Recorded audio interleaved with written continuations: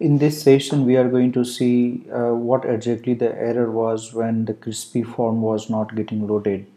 So the error which I have analyzed was like inside the template we have created a folder called uh, registration.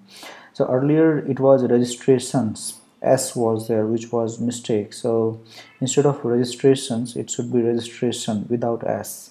And moment I have removed the s and then I have uh, refresh the server so it started working.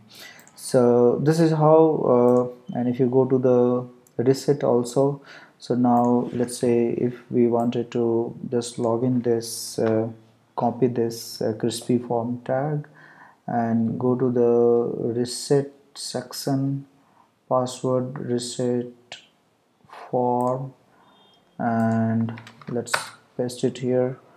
And here instead of as p let's say crispy. And then if you refresh this so now it start I mean bootstrap is getting loaded right?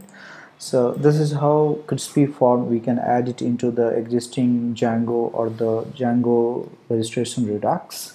Thank you so much for this uh, watching this screencast